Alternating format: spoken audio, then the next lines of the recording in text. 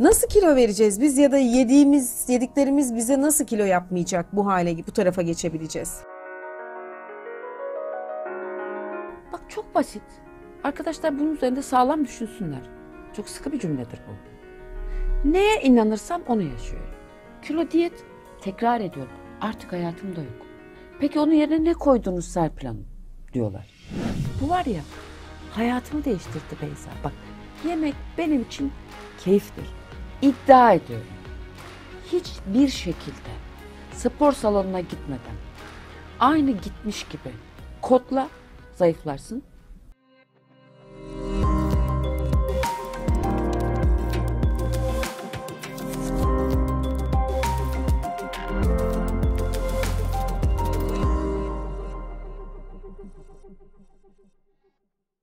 Şimdi burada güzel olan bir şey var. Bilinçaltımız gerçek olanla olmayanı da ayırt edemiyor. Hmm. Yine aslında 5 yaşındaki bir çocuk gibi Evet. bir nevi. Bir çocuğa gerçek olmayan bir şeyi gerçekmiş gibi yapabilirsin. Değil mi? Evet. Gerçek olanla olmayanı ayırt edememe hali bilinçaltının bizim kuantum ya da NLP uzmanlarına müthiş bir done veriyor.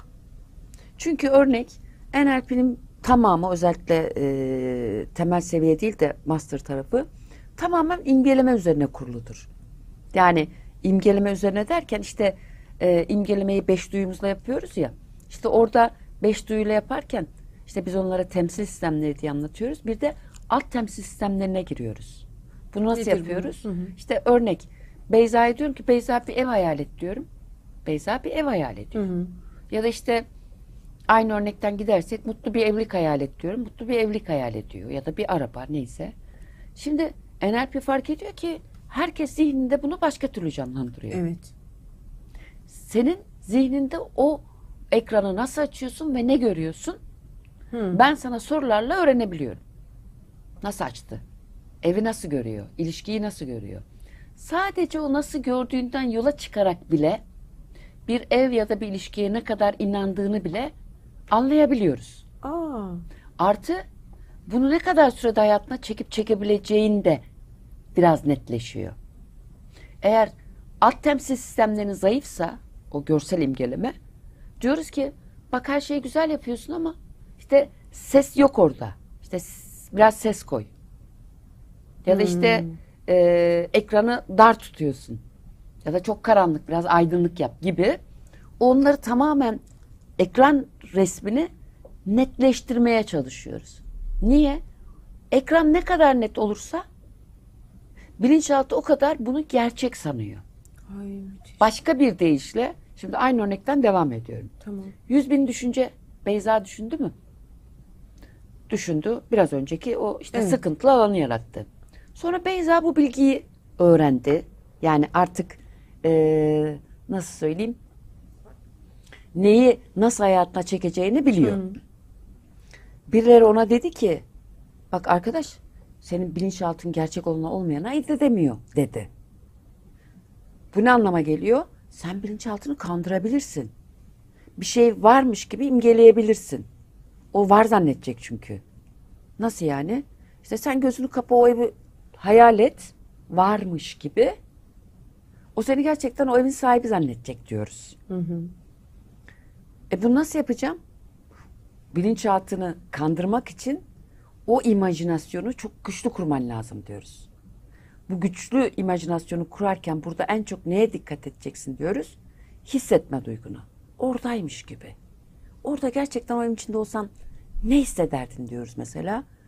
Ay çok heyecanlı, çok güvende, çok rahat, çok keyifli. Bu benim evim. Aa çok güzel. Hani o duyguyu yaşayabildiğin kadar yaşa diyoruz. Aslında orada ne yapmaya çalışıyoruz? Senin o ay burası çok güzel dediğin bizim için çok güçlü bir frekans aslında. Çekim alanı yaratan bir frekans. Yani sen ortalama 5-6 yayarken ay burası çok güzel dediğinde 12 frekans çıkıyor senden. Heyecanlandığı Heyecanlandığın anda. evet. anda, o duyguya girdiğin anda ve o çok güçlü bir frekans. Dolayısıyla o siyah beyazın arasına ilk defa kırmızı bir top giriyor. Hayal topu. Ha, E şimdi evet. aşağısı neye göre çalışıyordu? Bakkal hesabı yapıyordu. Neyi en çok görürse neye en çok odaklanırsam korkular öyle yaratıyorduk ya. Tak getirip önüme koymuyor muydu? Evet. Ben mütemadiyen aşağıya kırmızı top atıyorum. Kırmızı top. Besliyorum yani. Günde 5 dakika, 10 dakika. Böyle eee, nasıl söyleyeyim? O hayal aleminde geziyorum. Bu arada tabii eee, bunu yaparken biraz da tabii biraz ciddi olun. Yani ciddi olun derken ya işte hayal kuruyorum gibi de bakmayın. Çünkü birçok kişi maalesef eee hayal yetimiz kapalı. Hatta bundan sonraki jenerasyon için bunu biraz üstüne gitmemiz gerekecek. Tabii, tabii. Hayal kurma saatimiz olsun çocuklarla diye düşünüyorum hocam. Yani kitap okuma saati gibi tamam şimdi herkes Kesinlikle. Yatıyoruz veya şey yatmadan önce şimdi hayal kuruyoruz. Herkes çok istediği şey hayalini kursun. Kesinlikle. O egzersizi yaptırmak gerekiyor gibi geliyor artık. Çünkü o, o duyguyu öldürüyor bu Heh. telefonla. Yine olumsuz kelime kullandım ama hani ortadan Evet. kaldırmaya yönelik Tabii bir canım, olanı da gidişat var. lazım. Evet Hı hı. cep telefonları o görsel, hareketli görseller. Okuma Hayal perestlendi bize saati. çocukluğumuzda. Ya. Hayal dünyasında, Gene hayal, hayal dünyasında dünyasında. geziyor. Böyle bak ne yaptılar? Hayal Hmm. etmeyi birçok kişi bırakmış. Öyle e, öğrencilerim oldu ki bir elma hayal et dediğimde sadece şöyle siyah perde görüyordu. Hala böyle birçok kişi var. Aa, Elmayı hayal gözünün önünde canlandıramıyor. İmgeyi göremiyor. Ya da tek tük flu görenler var. İşte yarım yamalak görenler var. O arkadaşlara da diyorum ki yaratıcı imgeleme ile ilgili birçok kitap var. Mesela çok geçmişte okumuştum. Shakti Gavi'nin bir kitabı vardır. Güzel bir kitaptır. Ee, ve eminim hani birçok yeni kitap çıkmıştır. İncelesinler, yorumlar okusunlar. O hayal etme yetisini güçlendirsinler. Niye? E çünkü kendi hayatımı böyle inşa ediyorum. Bak bitti. Kendi hayatımı hayal ederek, düşünerek, imgeleyerek oluşturuyorum. Rastgeleliğe bırakmıyorum. Çünkü ben artık dışarıda dediğim bu dünyanın tamamen ilk önce içeride kurulduğunu biliyorum. İçeride neyi görürsem dış ekranımda onların belirdiğini görüyorum. E şimdi bunları bu bilgiyi bilen birisi arkada kötü bir şey yazabilir mi? Arkada ne yazarsan ekrana o yansıyacak. Bilgisayar ekranı gibi düşün. Ne yazarsan çıktı olarak onu alırsın değil mi yazıcıdan? E aynı şey. Konuştuğuma dikkat ederim. Bir arkadaşımla otururken bile rastgele konuşmam. Ha öyle bir ortamda da birileri pahalılıktan, birileri şanssızlıktan, bahtsızlıktan konuşurken de atlayıp ya niye öyle düşünüyorsunuz? Öyle bir şey yok. İyi düşün, iyi olsun da demem. Bana sorarlarsa ben anlatırım. Sormazlarsa katılmam. Olaya katılmam. O nedenle e, izleyici arkadaşlara söylüyorum. E, bilinçaltı ile ilgili, bilinçaltını pozitif kodlama ile ilgili çok zaten videom var. Hani yeni Evet. izleyen arkadaşlar için söylüyorum. Belki de o e, beni zaten izleyenler için de bir bilgi tazeleme olmuştur. E, bu konu önemli. E, ve dediğim gibi farklı zamanlara girdik. Titreşim hızımız hepimizin ayarlanıyor artık böyle yükseltildi. Bu da ne anlama geliyor? O benim daha çok çalışmam lazım diye bir şey yok. Ya öyle şeyler oluyor ki hani sizi bir hafta önce takip etmeye başladım. Bir çalışmanızı yaptım. Belki burada verdim, belki e, Instagram'da bir yerde. Söyledim hoca evet. Evet. Sonra dönüp diyor ki şu oldu bu oldu. Belki bir şey aldı, belki bir şey yoluna girdi, bir ilişkisini düzeltti. E diyorum ki tesadüfi yok. Senin yaydığın bir enerji beni çekti. Ne dedik bilinçaltı? Bir çekim alanı yaratır. Ona uygun olanlar çeker. Sen eğer diyorsan ki ya şöyle bilinçaltını bana güzel anlatacak birisi gelse de ben de böyle tatlı tatlı dinlesem diyorsan e, illaki birisi gelir. Öyle değil mi? Evet. Evet. Burada ş- kiloyla ilgili mi bir Kilo şey evet. Bu arada ben e, yine söyleyeyim. E, şimdi siz de diyebilirsiniz ki onlarca hocayla yayın yapıyorsun.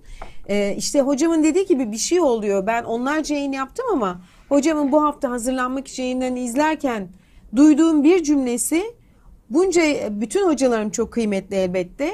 E, farklı açılımlara vesile olmuşlardır. Ama benim e, çocuğumla ve anneliğimle ilgili çok önemli bir açılım yapmama vesile oldu. Ben onun şokuyla sonraki yayınları izleyip de bugün gelir gelmez hocama söyledim. O yüzden dedim herkes nasibini alacak eminim sohbetinden. Belki daha önce dinlediniz ama bu sefer belki bir uyanışa vesile olacak. Tabii tabii. Sıcaklığıyla yaşadığım için samimiyetle söylüyorum bunu gerçekten. Çok güzel bir e, uyanış anıydı benim için. İnşallah hocamı takipte e, devam edeceğim devam içinde. E, hocam e, dedim ki şu kilo alma meselesi veya kilo verememe meselesi e, yine bilinçaltı ile doğrudan bir ilişkisi var bunun. Bir de bu ekran açma ile bile ilgisi var herhalde bu ekran açma çalışması Var. ile ilgili. Var. Günlük beslenmemiz hani sizden daha fazla yiyenlerin kilo almadığını görürken tabi bunu bilimsel olarak diğer açıdan baktığınız Evet. şey ya- yakıyor bilmem Evet. ne şunu bunu şey çalışıyor bilmem ne bezleri falan ama öyle değil yani bakıyorsunuz ki gerçekten yediğiniz içtiğiniz kontrollü olmasına rağmen eee, siz veremiyorsunuz ya da almaya devam ediyorsunuz.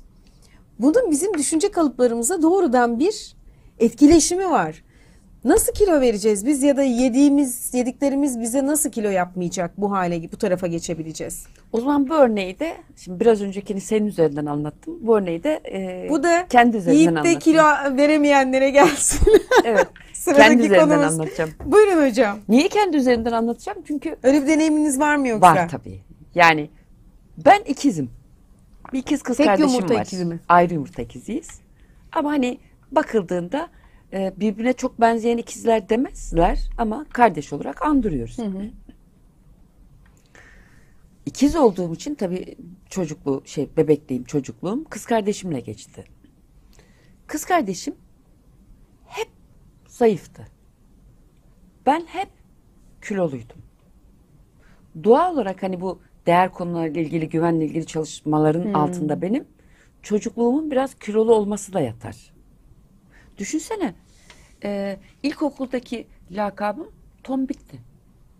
Ay. Serpil demezdi kimse tombik derdi. Tombuldum. Şimdi bu arada tabii bunun yanı sıra böyle incecik dal gibi bir kız kardeşin var. Ve sen çocuksun da hani kilo vermem lazım nasıl zayıflayacağım bunu bile bilmiyorsun. Sanki hani doğuştan öyle yaratılmışsın ve hayatın boyunca da öyle yaşayacakmışsın gibi bir algı içindesin e, o çocuk yaşta. Sonra tabii ilerleyen zamanlarda e, işte yeni yetişiyoruz ilk genç kız hallerimiz. Bende hafif şu durum başladı. Yani isyan. İşte anneme söylüyorum mesela. O yiyor kilo almıyor ama diyorum. E, ben yavaş yavaş o dönemler suçluluk da başladı. Artık çocukluktan çıkmışım ya. Evet. Önüme bir dilim pasta konuyor. Tam pastayı yiyeceğim. Böyle bir huzursuz oluyorum. Sanki biri beni eleştirecekmiş gibi. Zaten öyle düşündüğüm için işte İstanbul'da benim e, dört tane amcam var. Doğal olarak dört yenge var. Doğal olarak birçok da kuzen var. Oo, Bayramda, maşallah. seyramda çok gelip giderler. Ve e, her bayramda onlar geldiğinde işte e, örnek amcam yeğenim gene kilo almışsın ya da işte yengelerim hoş güzel bir şey mesela ellerinde var. Ay Serpil bak bunu sana verirdim ama bu sana olmaz herhalde. Ay. Bilinçli demiyorlar. Şimdiki aklımda anlıyorum ki ben kendi içimde bunu sürekli e, reddettiğim için ve kızdığım için dışarıdan da onlar bana bunun neyini aynalığını yapıyor. Utandığım için tabii bir de. Bu arada tabii isyan devam ediyor. Allah'ım tabii sonra Allah'a yöneldim dedim ki bu işte bir haksızlık yok mu? Aynı anne karnından çıktık. O şanslı ben şanssızım. O yiyor kilo almıyor. Ben hayatım boyunca yediğim lokmayı mı sayacağım? Diyorum. Evet. Ondan sonra O kadar üzüldüm kolumu sıkmışım. Şimdi görüntüde fark ettim. Böyle kendimi sıkmışım. evet. İşte işte lise yıllarım başladı. Lise yıllarında da böyle yine aynı durumdan dolayı şimdi anlıyorum. Bir İngilizce öğretmeni vardı. İşte tahtaya kaldırdı. Ondan sonra döndü dedi ki sen benden bile şişmansın dedi. Yaşça tabii benden büyük. Ben yine sınıfın önünde şöyle bir tip. Şişmansın derken bu arada çok şişman değilim. Ama Gürbüz mü tombulluğum diyelim biraz, Hı. hani e, ötesi mi denir bilmiyorum. bir tık. Bir tık. Sonra eee, zannediyorum dişimi çektirdim. İşte lise son mu lise kim tam hatırlamıyorum. Dişimi çektirince bir şey yiyemedim. Doğrudur. Hani bu iki üç gün bir şey yiyemedim. Bir şey yemeyince bir baktım böyle bir hafif incelir gibi İncelme oldum. hissi. O benim ilk farkındalığımdı. Aa yemeyince veriyormuşum farkındalığı. Ve tabii ki ondan sonraki hayatım uzunca bir süre hani bu konulara neredeyse girene kadar Serpil işte yediğin zaman kilo alıyorsun dikkat et. Herkes gibi 3-5 kilo aldığım da oldu geri verdim. 7-8 kilo aldım geri verdim. Çünkü kodlarım şöyle yediğin zaman kilo, Kilo alıyorsun. alıyorsun. Yani kilo almaya meyillisin. Onun için hani hep dikkatli olacaksın. Kod var bende. Bugünlere geldik. Yani bugünlere derken yaklaşık kaç yıldır e, aslında diyet de yaptığım söylenemez artık. Mesela bilinçaltı şu bu, bu konuları anladıktan sonra e, asıl büyük, asıl anladığım şey şuydu. Hani bu dünya neye inanırsam bana onu veriyor. Bak çok basit. Arkadaşlar bunun üzerinde sağlam düşünsünler. Çok sıkı bir cümledir bu. Neye inanırsam onu yaşıyorum. O zaman ben neye inanıyorum? Örnek kilomla ilgili neye inanıyorum? Her konuyla ilgili çalışabilirler. Şimdi kiloyla ilgili baktığımda kendi kendime yediğim zaman kilo alırım Evet. kodu çıktı. Evet. Peki neden diyet yapamıyorum ya da yapmakta zorlanıyorum? Çünkü bilinçaltım ki birçok kişide gördüğümde bu. Şöyle deyip beni durduruyor. E canım versen bile geri alacaksın nasıl olsa hep öyle olmadı mı? O hep pazartesi başlanacak diyetler o yüzden başlanmıyor. Yani ben onlara deseydim ki arkadaşlar bu son diyetiniz olacak. Bir daha yeseniz bile kilo almayacaksınız deseydim herkes zayıflardı. Ama bugün birçok kişi zayıflamakta zorlanıyor diyet yapmakta. Çünkü o döngüden sıkıldı. Bak sürekli bir döngü verdi e sonra bir daha aldığını görüyor. O zaman niye bu kadar zahmet çektim diyor. Evet. Ve mücadele ediyor. Yine önemli bir kelime. Ben çok mücadele ettiğim için söylüyorum. Yani savaşıyor. Kiloyla savaşıyor. Vermem lazım işte sigara bırakmam lazım, şunu yapmam lazım, bunu yapmam lazım. Ben bunu fark ettiğimde savaşı bıraktım. Niye biliyor musun? Ne yapıyordu bilinçaltım? Neye odaklıysam onu önüme getirmiyor muydu? Hı hı. E ben sürekli kilo vermem lazım diyorum. Kilo ile ilgili açıyorum. Kim ne yazmış? Aa bak limonu zayıflatıyormuş. Evet. Arkadaş da bak bilmem ne makineye girmiş. Akşam saat şu saatten sonra yemezsem de oluyormuş. Bak sürekli böyleyim. Neyi büyütüyorum? Kiloyu büyütüyorum. Kiloyu. Diyetisyene giderek bile kiloyu büyütüyorum. Çünkü her gittiğimde aklım orada kiloyu vermem lazım diye gidiyorum. Kalıcı olmuyor. Gidiyorum. Evet gerçekten belki veriyorum.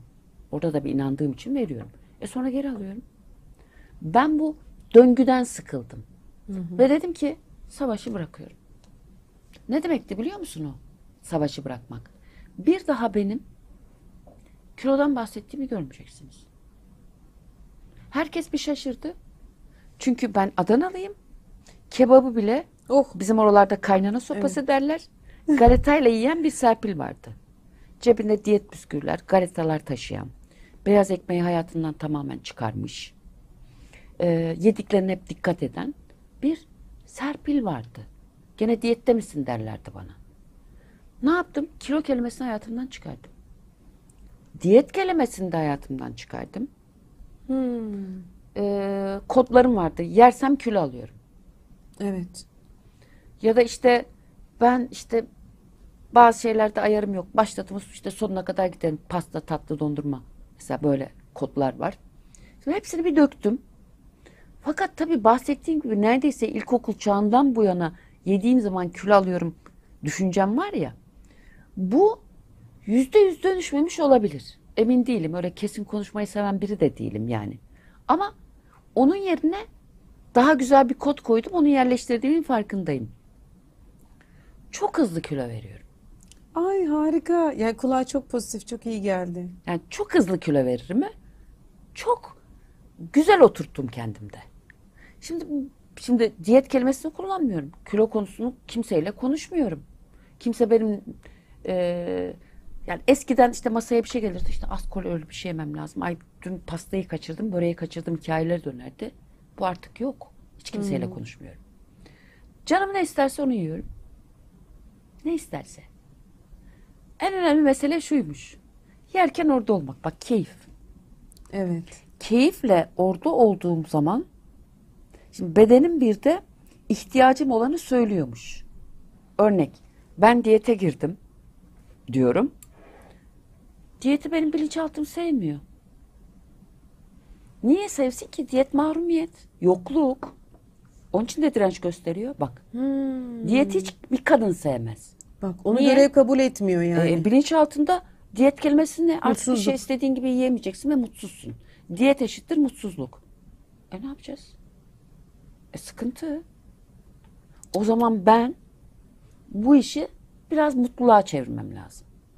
Ama her şeyden önemlisi odağımı artık buradan çekmem lazım.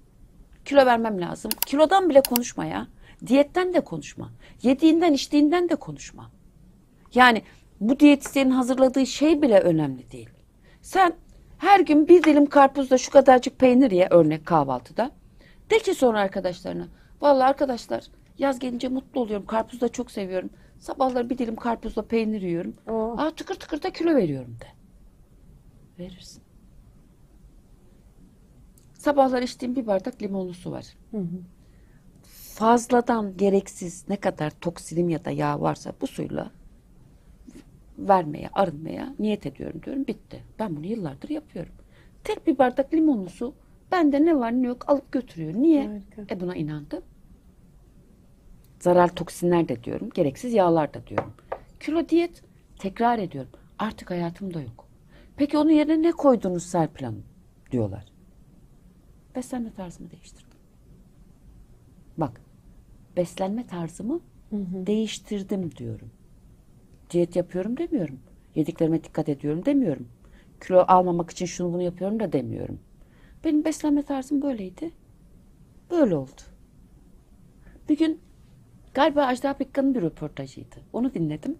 Diyor ki mesela ben diyor işte bugün işte lahmacun yedim ya da kebap. Seviyorum öyle hamur işlerini diyor. Evet. Ertesi gün yemiyorum diyor. Dengeyi böyle sağladım diyor. Bak ne kadar basit bir yöntem. Bugün Evet. yedim. Ertesi gün yemediğimde zaten o gidiyor. Çünkü dünyaları da yesen sen işte bedenin en fazla tutacağı üç- 300 gram. Ertesi gün 300 gram eksik aldığımda bak denge. Ha, şimdi beslenme tarzını değiştiren Serpil ne yaptı? Ne yaptı? Şimdi diyet Biz eşittir mutsuzluktu ya. Hı hı.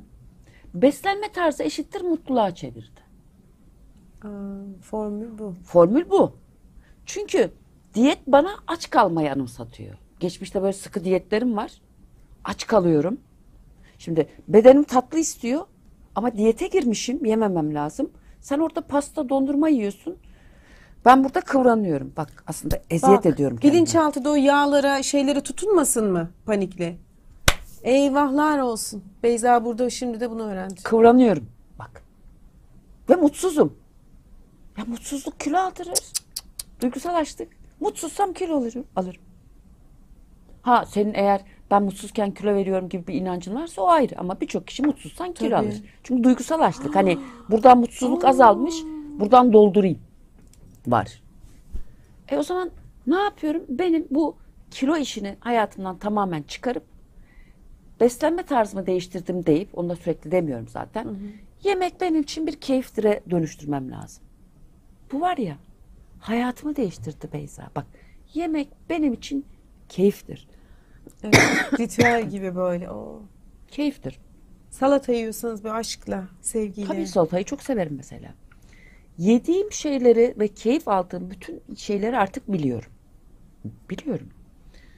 Örnek dışarıda bir kafede oturuyorum ve bu kahveyi içerken bir an gözüme bir tatlı ilişti. Ya da aklıma geldi ya da birinin masasında gördüm. Hiç kendimi mahrum edemem. Bu kahvenin yanında o tatlı yenir. Yenecek. Yenirken aklıma kilo bile gelmediği gibi Allah'ım nasıl güzellikler yaratmışsın. Şu tatlının güzelliğine bak. Şu kahvenin lezzetine bak. Ne kadar şanslıyım. Bunları deneyimliyorum, yiyorum, içiyorum. Bir orada ol bakalım. O tatlı sana bırak kilo yapmayı. Seni uçurur ya. Uçurur. Yediklerine ne anlam veriyorsun bir bak. Ve bir baktım her şeyi yiyorum. Hiç aç kalmıyorum. Hiçbir şeyden de kendimi mahrum etmiyorum. E, Kilo da almıyorsunuz. Almıyorum. Kilo benim artık hani eski meselem. Eski Serpil'e ait bir meseleydi. Ama belli bir zaman diliminde ya da farkındalığında buraya gelecekmişim. Herkes kadar mücadele verdim. Evet. Çok. Diyorum ya neredeyse doğuştan gelen bir şey var. Hep kardeşine şöyle bakan. işte Allah'a dönüp Allah'ım niye beni de onun gibi yaratmadın? O incecik. Yani örnek tabii şu anda marka vermek istemiyorum. Çok sevdiğim bir markanın pantolonları vardı mesela dar kesim. Bir de ben böyle hafif pırıltılı şeyleri de severim. Böyle parlak marlak. O pantolon böyle cebinde önünde arka cebinde böyle böyle parlak taşlar olurdu. Böyle küçük küçük yazılar falan. Böyle pantolonlara hiç giremedim. Kız kardeşim giderdi. Hangisini beğeniyorsa alırdım. Ve şöyle düşünürdüm. Dünyanın en büyük mutluluğu herhalde insanın giydiğinin böyle tık jilet gibi üzerine oturması derdim. İstediğini giyebilmiş. Ya da onlara bakar şöyle derdim. Onlar ne kadar mutlu olduklarını, şanslı olduklarını farkındalar mı acaba? Ne kadar zayıflar? Zayıflarsa da mutlulardır. Mutluluk eşittir zayıflık. Zayıflarsa da Evet. mutlulardır gibi kurmuşum. Tabii yıllar öncesinden bahsediyorum. Hani sendeki e, birinin varlığı sendeki yokluğu tetikler. Sen kısa boyluysan uzun boylu birine gördüğünde böyle yaparsın. Ben kısayım. Sen şimdi kiloluysan zayıf birini gördüğünde ben kiloluyum oluyor. Çünkü senin yokluğunu tetikliyor. Evet.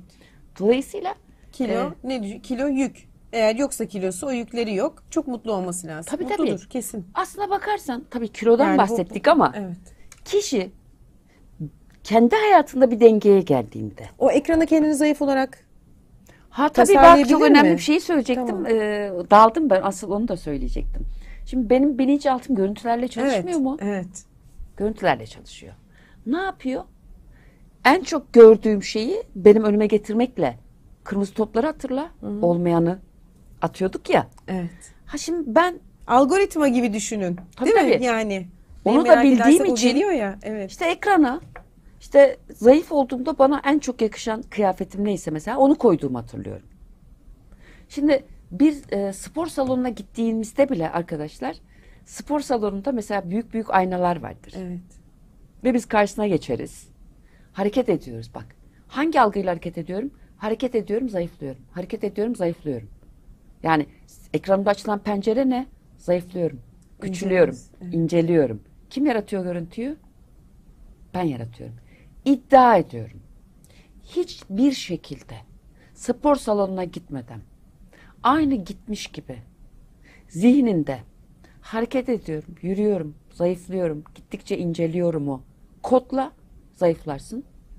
Hareket etmekte bu işin ilkisi yoktur. Budur karar veren. Orada seni zayıflatan da o algındır. Sen kendin hareket ediyorum sanıyorsun. Zayıflıyorum diyorsun. Bak şimdi ol- oluşturuyorsun Ya, düşünceyi de. Sen aynaya bakıyorsun. Aa düne göre belim biraz daha incelmiş. Bayağı Aa. çağla şikel olma yolunda Tabii ilerliyorum bak popom diye. da küçülmüş diyorsun. ne yapıyorsun? Bir yaratımdasın onda. Atıyorsun bak kırmızı top atıyorsun. E bunu sabah içtiğin bir bardak suyla da yapabilirsin. Ben çok hamım, hantalım çünkü hareket yapmıyorum diyen arkadaşlar var. Ay ben çok hareketliyim, çok esneyim de bakayım ne oluyor vücut. Her şey kendi yorumun, konuştukların, sözlerin, düşüncelerinle şekillenir. Her an ne demektesin? Çünkü sistem her an sana hay hay evet der. Ne diyorsan. E şimdi bunu bilerek bundan sonra arkadaşlar bakarlarsa ve bol bol işte hayal kursunlar. İşte o kiloyu verdiğimde örnek işte bu elbiseyi giyeceğimi biliyorum. O elbiseyi hayal etsinler. O zayıf hallerinde işte plajda kendileri görsünler. Bikini giymek istiyorlarsa bikini giysinler. Ge- Geçmişten kendimi bilirim. Benim en büyük hayalim bikini giymekti. Giyemediğim için o zamanlar. Ne kadar kolay bir şeymiş aslında değil mi? Üç, üç beş cümleyi değiştirdim. Savaşmayı bıraktım. Bakın bıraktım. Diyetisyeni bıraktım. Kilo vereceğim bilmem ne hikayelerini konuşmayı bıraktım. Oradan odağımı çektim. Bak enerjimi çektim oradan. E oradan çektiğim enerji bana döndü. Beni iyileştirdi. Bir yaratım gücü olarak döndü. O buradan tıkır tıkır gitti. Meğersem ben sürekli enerji çaldırıyormuşum. 3-5 cümleyi değiştirin. Bu anlattıklarım aynı kısmı bir daha dinleyebilir arkadaşlar. Evet. Kodlarını bulsunlar. O Mesela ekrana nasıl tasarlayacağınız çabuk hocam alıyorum diyenler olun. var. Ne yapsam işe yaramıyor diyenler var. Su içsem yarıyor diyenler var. Arkadaşlar bunların hepsi hikaye. O ekrana tasarımı yaparken e, aşık olduğu kişiyi ya evlenmek istediği kişiyi öyle onlara da tasarlayabilir mi mesela? Ne Gelinlikte isterse filan o da koyabilir. Koyduğunda önemli olan şu. Mesela Veya zayıf kendisini. zayıfladığını dediğiniz gibi. gördüğünde bir duygusu var onun. Hani dedim ya biraz önce ben kardeşime bakar şöyle düşünürdüm. Herhalde dünyanın en mutlu insanı ben olurum. Bir şey giydiğim anda üzerime bir şort, bir elbise böyle çok güzel duruyor. Şimdi o duyguyu hissetsinler. Yani istediğimi giyme özgürlüğü ne kadar keyifli bir şeymiş. Ha bu arada bedenleriyle ilgili algılarını da şey yapsınlar. Mesela bazı arkadaşlarımız var. Ben denk geliyorum benim arkadaşlarımda da var. Ay Serpil buradan çok güzel veriyorum örnek yani. Evet. Çok güzel veriyorum. Ama eee basenlerimden veremiyorum. Niye? İşte ben armut tipim ya. Buradan gitmiyor. Ya belli bir yaştan sonra verilemiyor diye ona Onun için ikna gitmiyor olmak. diyorum. Evet. İşte belli bir yaştan sonra gitmiyor. Ha, gitmiyor. Ben de onlara diyorum ki ay ilginç orada değişik bir algoritma çalışıyor herhalde. Ben genç kızdığımda çocukluğumda veremiyordum. Şimdi tıkır tıkır kilo veriyorum mesela. Ya da işte menopozdan sonra e, zorlaşır. Hiç ilgisi yok. Menopozdan sonra dal gibi olan kadınları görüyorum. Evet. Yani bu tamamen senin inandıklarınla ilgili. Neye inanıyorsun? İnandığın şey önüne geliyor. Nokta. Arkada sürekli bir film yazıyorsun. Bir de görüntü çekiyorsun. Yönetmen sensin çünkü. Önüne sürekli o geliyor. Kendi yazdığını unutuyorsun ondan sonra kızıyorsun. Ben böyle istememiştim. E sen yazdın. Şimdi bunları dinleyince şöyle oluyor bazen hocam. Şimdi olu, olmuştur ya da olacak. Aa tamam ben şimdi meseleyi çözdüm hazırım. Güç içimde tırnak içinde yapabilirim. Sonra hocam olmuyor neden olmuyor? Nerede yanlış yapıyoruz? Biz nasıl başlayacağız bu işe? Biz bunu yapmaya nasıl Ben neyi beceremedim? Önce aşağıyı bir dönüştürmek. En başta en başa alın yeni gelenler. En başta bir dönüştürme gerekiyor değil mi? Vazgeçenler asla başaramaz. Evet. Başaranlar Güzel. asla vazgeçmez. Eğer vazgeçseydim olmuyor ben de söyledim mi? E, bin kere söylemişimdir. Olmuyor, olmuyor, olmuyor. Her konuda söylemişimdir. Sadece kilo değil. İlişkide de söylemişimdir, parada da söylemişimdir, söylemişimdir. Ben de diyorum ki e, izleyici e, arkadaşlarımıza. Olmuyor dediğiniz noktada bile her zaman bir olasılık olduğunu bilin. Hiçbir şey tesadüf değilse, şu an burada bizi izliyorlarsa buradan alacakları vardır. Evet. Tesadüf yok. Olmuyor diyen o küçük çocuk değil mi hocam? Evet. Kader planı vardır. Ben de diyorum ki olmuyor kelimesini hayatından tamamen çıkarır mısın? Yapamıyorum kelimesini çıkarır mısın? Tüm videolarımda söylediğim bir cümle var. Çok basit görünüyor. Yaparım dediğim her şeyi yaptım. Yapabilirim dediğim her şeyi yaptım. Yıllar sonra NLP'de önüme çıktı bir varsayım ilkesi olarak. Diyor ki dünya üzerinde birisi bir şey yapıyorsa sen de yapabilirsin. Tek kelimeyi değiştirdim bak. Bugün bile Beyza sana diyorum ki Beyza ben istediğim her şeyi yapabilirim. Yeter ki işte birisi gelsin. İşte neyi yapmak istiyorsam onu bana öğretsin. Ben yaparım. Bak tek kelime. Fakat zihin karmaşıklaştırmaya meyillidir. Çok basite algılamaz. Bu bu kadar kolay değildir der. Mesela iki cümle söylerim danışanıma ya da öğrencime. Der ki hocam yok bu böyle değildir. Benim burada bayağı işte şöyle çalışmam lazım. Çalışma diyorum. Bir şeyi Aa, bir mesela o var, evet. o anda at hiç diyorum. ya. Ben atamam hocam. Nasıl atayım bu kadar yükü diyor. Bakın. Senin bugüne kadar bilinç altında biriktirdiğin tüm negatifleri bir çöp çuval gibi düşün. Onu da sırtında bir çuval gibi düşün. Ben sana diyorum ki Beyza at onları artık onlara ihtiyacın kalmadı. Sen bana inanırsan onları attığında onların artık kalmayacağına sen onlardan kurtulursun. Ama sen dersen ki hocam siz iyi misiniz? Siz kaç yılınızı vermişsiniz insanlar kitaplarla dönüşüyorlar dersin. ve bir zamana ihtiyacın olduğuna inanırsın. O zaman da yaratır ve zaten çalışır. Sonunda da dönüştürdüğünü görürsün. Neye inanırsan o. Ama anda ondan kurtulacak gücün bile hepimiz için söylüyorum vardır. Ama tabii ki tabii ki eee, birçok arkadaşımızın en azından ellerine kalem kağıt alıp bilinçaltı ile ilgili çalışacaklarsa bir silkelemeleri de lazım. Yani o seviye hemen belki şu anda olmaz ama alttan yavaş yavaş frekans olarak belli bir idrake, farkındalığa ulaştıklarında birisi sadece onlara şöyle bir dokunur. Dokunduğu anda zaten o kişinin de onun idraki de açılır. Bir bilinç sıçraması da yaşar. Ha der. O olur. Yani o onlar böyle sırayla zaman gelince zaten e, açılıyor. Zaten böyle bir çağdayız. Böyle bir süreçteyiz değil mi? Bu Tamamen. uyanışların, bu Tamam. mesajların geldiği ve onları algılayabildiğimiz. Zihnin ötesine geçiyoruz. Yani bilginin ötesine geçtiğimiz daha çok sezgisel. Yani sağ lobumuz aktive oluyor öyle diyeyim. Hep soldan gittik. Şimdi sağ beyin aktive oluyor. Gözlerimizi e, hiç Dişil kapatmıyor. enerji geliyor yani dünyaya. Ki o da berekettir zaten Evet değil mi? yani Bereket. eril üretkenlik. enerji hakimde dünyaya dişil enerji yani sağ beyin geliyor. Vallahi biz doyamadık bu sohbete hocam. Yaparız ara ara. Gerçekten yapalım Evet, mı? yapalım. Çok sevinirim. Çok. Çok keyifli oldu. Çok mutlu Evet. oldum. Ee, hiç zaman da çok bereketli geçti sizinle. evet, Eminim bir saati geçtik de. herhalde değil mi? O ne güzel. Doyamadım ama sizin programınızı bildiğim için şu anda. Ee, kampta neler yapıyoruz hocam? Neler yapıyorsunuz? Bir kamp da var değil mi yakında? Ha yok bu kendi şeyim değil. Ke- Kendi oluşturduğumuz Hmm. bir kamp değil. Ama e, bu ay sonunda mesela tezahür ettirmeyle ilgili hani ondan Ağustos'un. konuştuk ya ekran açma tasarlama. Evet.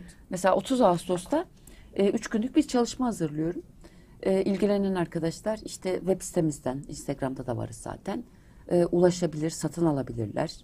E, bu yine bayağı detaylı. O e, ekran açma çalışmasını daha tabii. da öğretiyorsunuz. Tabii tabii hani teknik veriyoruz orada da. İşte Güzel. şöyle yaparsan işte hani biraz önce bahsettim ya alt temsil sistemleri. Bunları nasıl bulacaklar, nasıl kullanacaklar biraz onlardan bahsediyoruz. Ee, hepimizin bir frekansı var dedik. O frekansı nasıl açığa çıkarıyorlar? Biraz onlardan bahsediyoruz. Bunun haricinde de bu aralar aslında güzel denk geldi. Bizim eğitimler, e, biz bir e, şirket ortaklığım da var benim. Bizim eğitimlerimiz zannediyorum Ağustos ortası mı sonu mu tam bilmiyorum şu anda. Bir süre indirimde de. Aa harika. Yani ciddi bir yüzde elli indirime girdi. En Her şey zamlanırken hoca indirim yapıyor. Daha ne yapsın? eee, Ama zannediyorum biraz zam yapılacağı için indirime şey yaptılar. ama zam yapılmış hali bile bizimkilerin çok yüksek Evet. gene olmayacaktır. Eee, Yüzde elli indirimde şu anda Ay çok iyi. bilinçaltı çalışmaları. Yani bundan da arkadaşlar faydalanabilirler. Hani Herkes nasibini alacaktır. Çünkü Evet. o da hani söylüyoruz ama aa, bildiğimiz hayal etmek öyle bir şey değil. Hocanın anlattığı çok daha anlaşılır, çok daha e, neredeyse somut hale getiren bir şey bu meseleyi. E, ki şunu da öğrenmek gerekiyor. Buradakiler inanın öğrendikten sonra açılım yaptıysa ne mutlu, vesile olduysa program. Ama orada o 4 yaşında, 5 yaşında, 6 yaşında, 7 yaşındaki haliniz bir o çerçevenin içine o kadraja giriyor ve bir görüntüyü bir karıştırıyor.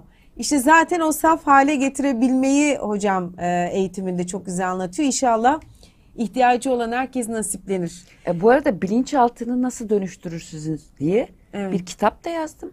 Kitaba nasıl ulaşabiliriz hocam? E, bu kitap şey internet e, DNR da, dahil birçok sitede bulabiliyorlar Harika. şu anda kitap yurdu da dahil. Bu kitapta mesela çok güzel teknikler verdim. Yani kitabın yarısı teknik. Mesela o değersizliğin kökünde anne baba vardır ya. Anneyle özdeşleşmeyi nasıl keseceksin? Babayla özdeşleşmeyi nasıl keseceksin? Dedi ki annen senin dişilin, baban senin erilin. Evet. Dişille erille o e, özgürleşmediğimiz müddetçe kendi dişil eril dengemizi gerçekleştiremiyoruz.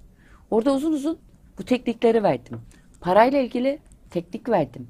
Parayla ilgili kendi üzerlerinde nasıl çalışacaklar onları da uzun uzun anlattım. Hani bol teknik verdiğim ve kuantumu bilinçaltını böyle çok güzel anlattığım bir kitap hazırladım. Hepimizin anlayacağı. bundan da faydalanabilir arkadaşlar. Ben de burada çık buradan çıkar çıkmaz var ya şu ileride yayın evi biliyorsunuz malum. Evet, ben evet. de alayım orada. Orada da vardır yani sadece DNR değil Vardır, değil mi? vardır. Birçok yerde vardır. Hangi yayın evinden çıkmıştı hocam? E, müptela. Tamam. Penguen kitap evleri var ya. Evet. Ee, Müpteladan. Onu da hep anlatırım zaten. Mesela o bile benim hayalimdir. Ben Suadiye'de oturuyorum ve Bağdat Caddesi'ne çok yakınım. Böyle ara ara çıkar Erenköy'de e, şeyde onların yerler. kitap evleri. Orada hayal kurardım. Ben burada imza günü yapacağım. e sürekli ortasın kahve içiyorsun, kitap okuyorsun. En büyük hayalim orada bir e, imza günü yapmaktı. Sonra onlardan teklif geldi. Kitabım oradan çıktı. imzayı orada yaptım. Ay çok güzel. Ekran açma meselesinin e, tezahür etmiş, gerçekleşmiş halini hocam deneyimlemiş ve anlatıyor bütün samimiyetiyle. O yüzden e, hepimiz hepimize iyi gelecek eminim. Bu yayın bile iyi geldi. Düşünün öyle inanıyorum. E, hayata geçirme yolunda adım attığımız zaman çok daha iyi, hissettiğimiz bir tarafa geçeceğiz diye düşünüyorum. Yüreğinize sağlık, gönlünüze sağlık. Çok güzelsiniz, çok iyisiniz. Çok teşekkürler. İzleyenlerin Serpil yüreğine, hocam. zamanlarına, kalplerine sağlık. Ee, ben anlatmayı seviyorum. Yani ne kadar çok kişi Bizi faydalanırsa hani e, hep aynı örneğe veririm. Hani aynı akvaryum suyunun içinde yüzen balıklar gibiyiz. Suyu ben temizliyorum, o temizliyor. Kimin temizlediği önemli değil. Önemli olan bu suyun içindeyiz ve birlikteyiz. Ayrı gibi görünsek bile ak- aynı akvaryum içindeyiz. O nedenle severek anlatıyorum ve izleyicilerden bir kişiye bile katkı olsa benim için en büyük manevi haz o zaten. Onun için İnşallah. ben teşekkür ediyorum buna izin Ne verdiğin demek için. ne demek imkan seve tanıdığın seve. için. Çok teşekkürler hocam. Evet. Kraliçesiniz. Ee, Sevgiyle kuantum- aldım kabul ettim. Çok teşekkürler. Kuantum Kraliçeleri kanalını da takip etmeyi unutmayın lütfen değerli dostlar. Kıymetli yorumlarınızı hepsi bizim için çok kıymetli. İzlerken ne hissettiniz, neler yaşadınız, ne düşündünüz, ne gibi açılımlar yaptırdı size bu e, Serpil Hocam'la gerçekleştirdiğimiz söyleşi? Yorumlarda paylaşırsanız çok kıymetli, çok seviniriz. Lütfen bildirimleri de açmayı unutmayınız. Bir sonraki videomuzda görüşmek dileğiyle. Sevgiler. Sevgiyle kalın.